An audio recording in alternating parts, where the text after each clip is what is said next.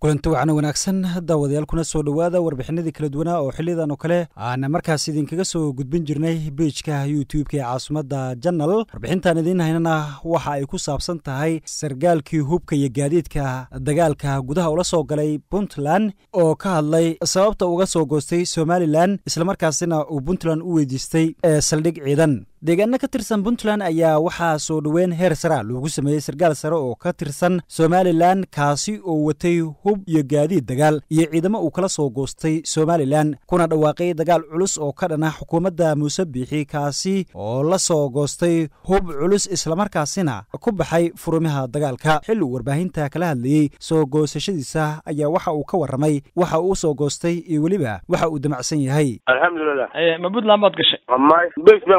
baan weydiistay bes military haye waa la siiyaan haye halkaasaan ka soo duulaya haye gaadiidka iyo tiinkeedana ku samaysanaya haye qorshahaygu waa cad yahay waa may maqlaysaa ha dib u xaraynta somalilan weeye haye gobolkaasaan ka bilaabaya sanaag a waa garta nin waliba gobolkiisu u tirsanaya gudahay ka bilaabma saaxibada waa garta waa sida dib alkheer allah ka dhigo warkaas kolley waa iska badbadan yahay may maqlaysaa Hmm. puntland anigu isma dhiibin dee base baad weydiisay military bes militariyaan weydiistay ah sax military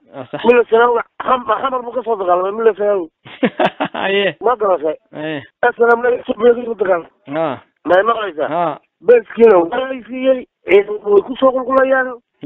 ki kifiyadana waan ka hadli doonaa haddii aqayo kaasina waxa uu ahaa daawadayaal korneel siciid cawil jaamac care oo markaasi ka soo goostay somalilan oo ku sugan deegaano ka tirsan puntland gaar ahaan gobolka karkaar ee magaalada qardho duleedkeeda. Waxa uuna sheegay in markaasi uu la dagaalami doono somalilan islamarkaasina ay xabaddu ka bilaaban doonto magaalada burcowa sida uu hadalka u dhigay. Iyadoona somalilan ay wacad ku martay in korneel care iyo ciidanka uu la goostayba ay markaasi ku raajoogaan tallaabo sharciga waafaqsanna ay ka qaadi doonaan. Guud ahaan daawadal intaas ayaan ku soo gabagabaynaynaa warbixintii aynu kaga hadlaynay. Sarkaal hub iyo gaadiid kala soo goostay somalilan lana soo galay gudaha puntland isaga oo sheegay in muuse buuxi furumaha dagaal oo hor leh uu ku furayo islamarkaasina uu doonayo in iminka weerarka iyo dagaalka lagu qaado somalilan siduu hadalka u dhigay. Daawadaasha ku cusub beejkeena youtube-ka caasimada janalna waxaan ka codsanaynaa inaysan hilmaamin. Sabscribe-ka layga sheerka si wararkeenna iyo warbixinadeenna maalinlaha ay ula socdaan insha allah